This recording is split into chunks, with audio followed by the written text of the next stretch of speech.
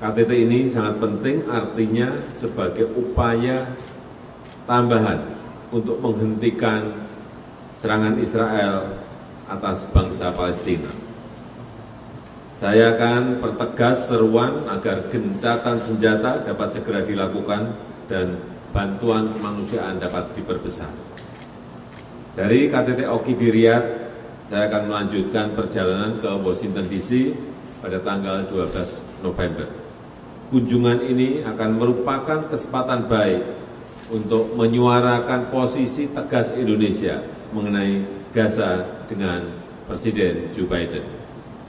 Kunjungan ini juga merupakan kesempatan baik untuk langsung menyampaikan hasil KTT OKI di Riyadh yang mencerminkan solidaritas negara-negara OKI untuk membela keadilan dan kemanusiaan.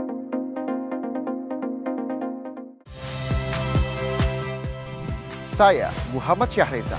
Saksikan program-program Kompas TV melalui siaran digital, pay TV, dan media streaming lainnya. Kompas TV, independen, terpercaya.